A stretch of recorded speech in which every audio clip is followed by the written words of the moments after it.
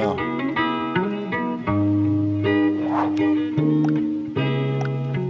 Some days I can be so weak that the rain is a struggle to walk in, and my pain has me struggling talking. I'm well aware one quick call could save me instead of just bury it and act like shit's all gravy. Next thing I know, my thinking's all out of control, and I'm looking at the mess I made like, how will I cope? Before I know it, I'm cleaning up another broken mirror, head in my hands, convinced I'm just another hopeless sinner. Still, turning to drugs ain't something I do today. My default mode is no longer to use it's to pray. So I thank God for showing me the error of my ways, brush myself off and try my best to get on with my day. But that's not to say I'm alright with it all. Or that I won't sob my heart out when I'm alone. Maybe it's karma, maybe it's just life on life's terms. Whatever it is, my word, at times it hurts. Don't let pride and ego get in the way of you being the best you you can be today. Reach out, tell someone what you need to say. It's okay not to be okay. Don't allow your fears to get in the way of you being the best you you can be today. Reach out, say whatever you need to say. It's okay not to be okay.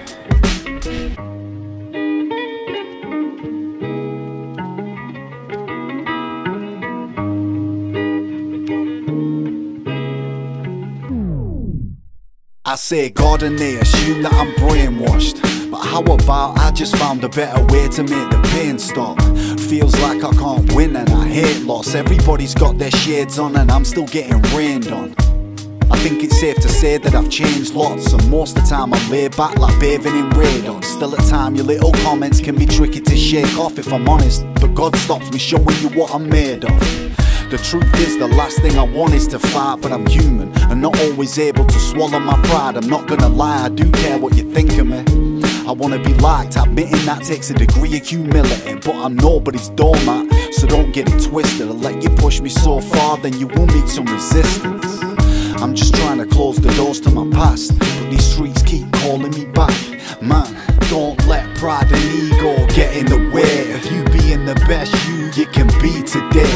Reach out, tell someone what you need to say. It's okay not to be okay. Don't allow your fears to get in the way of you being the best you you can be today. Reach out, say whatever you need to say. It's okay not to be okay. It sounds simple, doesn't it? Yet instead we wear smiles like camouflage, a tendency to self-sabotage. So even when we know what the solution is, we tell ourselves we'll be okay and avoid pursuing it. The human race, we have a need to connect and feel needed, but for that we must communicate. That stands to reason. Also, how free you feel depends on you. How little you hide and how much you embrace your truth. Most of us have a fear of growth and change, like I'll stay in my comfort zone if it's all the same. See, to embrace the unknown means to let go of control, and doing so can lead to feeling unimportant and small. So, whatever stops you achieving, listen, you got this. All you gotta do is reach out, and together we'll solve it. No one can accomplish much completely by themselves, even the most ingenious people require some help. Don't let pride and ego get in the way of you being the best you you can be today. Reach out, tell someone what you need to say. It's okay not to be okay.